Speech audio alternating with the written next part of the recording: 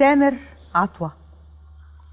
تامر عطوة تخصص رعب وخوف صانع زي مثلا بتقول إيه صانع ألعاب.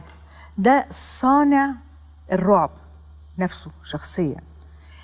هو ممكن جدا ألفت نظركم شوية إن لو بصيتوا عليه وبصيتوا في عينيه ممكن قوي تخافوا.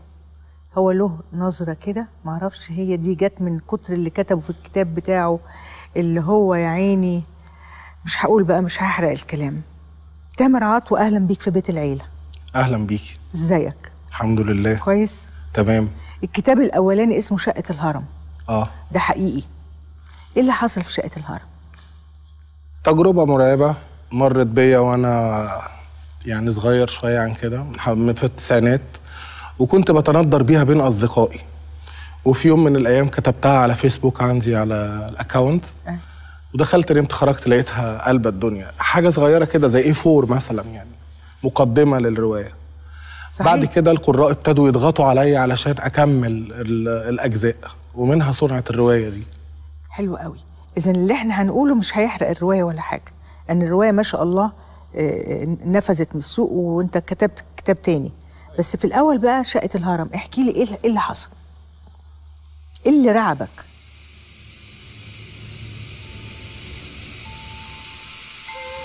الدرجة دي؟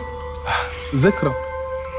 كان لأول مرة كنت ساكن لوحدي في شقة في الهرم. في مكان ما طبعا ما أقدرش أقول هو فين. أيوة.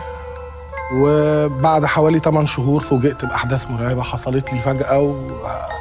وفضلت بقى ذكرياتها معايا جامد قوي.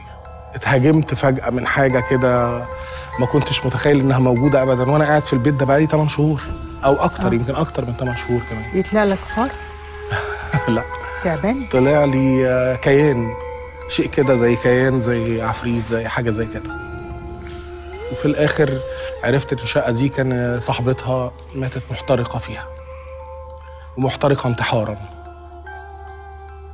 ياه فكتبت ال intro نفسه هو حقيقي وبعد كده كملت بقى كملت. بنات آه، افكاري يعني آه بنيت شخصية اللي هو تبقى تامر عطوة إيه اللي حصل لها نتيجة الحادثة آه. دي آه كملت بقى أنا دراميا وعلى المستوى الأدبي أنا يعني. أنت عارف يا تامر أنا مصدقاك يعني مستوعبة مش مصدقة طبعا مس- يعني ضروري هبقى مصدقاك يعني مش هكذبك لكن مستوعبة اللي حصل لك لأني كان ضيوفنا من فترة آه، آه، دكتور عزت ابو عوف وإخواته وكانوا في مكان آه، في في في بيت في فيلا وقالوا لي إنه أصحابها اللي كانوا فيها اتوفوا فيها أو حصلت لهم حاجة وكان بيطلع لهم صاحب الفيلا وكان بيكلمهم وهي مراته تمشي بشمعة زي الأفلام. آه.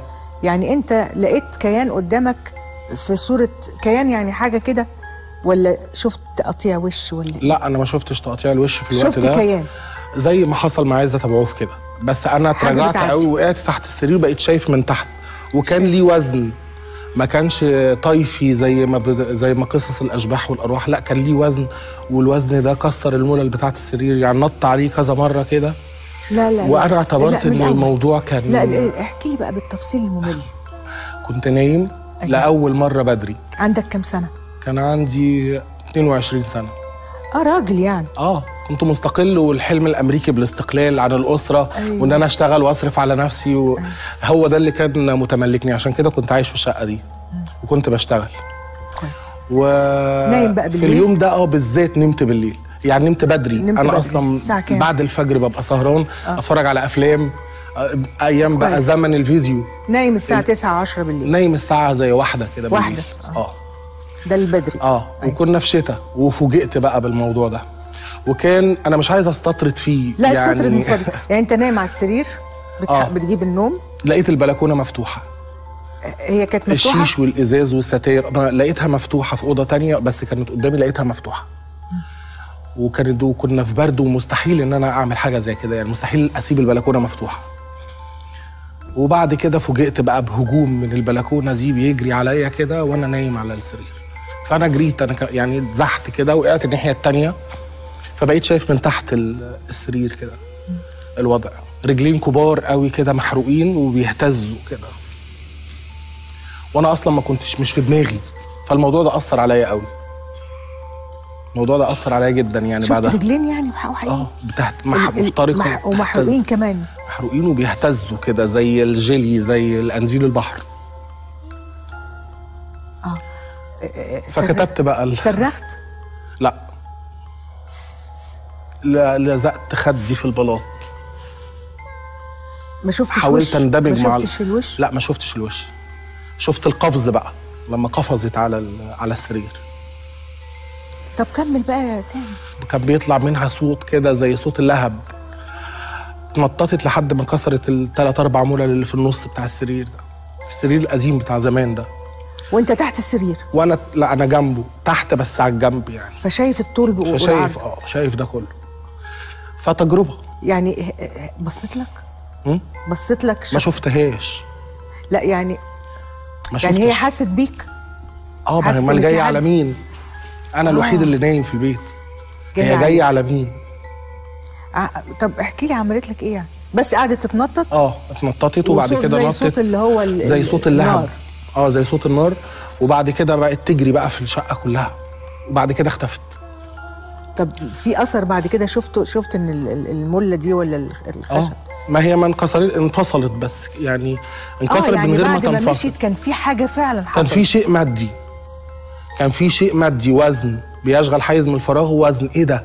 أنا أعرف بعد كده لما اشتغلت في الروحانيات وبقيت أبحث أعرف إن أي أرواح أو أشباح بتبقى عبارة عن طاقة متجمدة في المكان بيعاد بيعاد تكرارها ريبيتنج في نفس الوقت أو لما طاقة المكان يبقى فيها حاجة فبيحصل التجسد ده. لكن إنه يبقى ليه وزن هي دي اللي كانت وزن إن هي كسرت. السرير. آه. وبعدين عزيت ده كله إنه ممكن يكون كان زي الحلم أو وهم. آه. يعني أنا حتى ما بدعوش لتصديق الموضوع ده. ممكن يكون عدى عليا كوهم أو تجربة ميتافيزيقية قاسية. ومنها كتبت بقى الرواية. شقة الهرم. أنا عايزه أقول لك على حاجة على فكرة. آه. عينيك فيها حاجة. عينيك بتقول إن أنت ممكن تكون اتأثرت جامد مم. وفي حاجة. يعني أنا ممكن أشوف الحادثة جوه عينيك دلوقتي. لا الحادث ما أثرش عليا خالص. ده أنت أسعدني. اللي بتقول أنا دلوقتي أنا جعلني في مصاف أدباء الرعب. فدي حاجة بالنسبة لي آه جميلة طبعا لا أنا بتكلم يعني. أنا بتكلم على ال features. أنا بتكلم على تقاطيعك إن أنت العينين فيها حاجة يا فيها خضة يا فيها حد تاني بي بيقول أنا مش مش هقعد يعني أيوه أيوه. بس ما أعرفش يعني ده ايحاء علشان يبان إن أنا مثلا مسكون؟ فيك حاجة تخوف. لا لا. أنت بتعملي لي عملية أنا إيحاء. عايزة أقول لك حصل لنا الرعب. مش هتأثر. حصل لنا الرعب وتشرفنا. تشرفنا. ميرسي.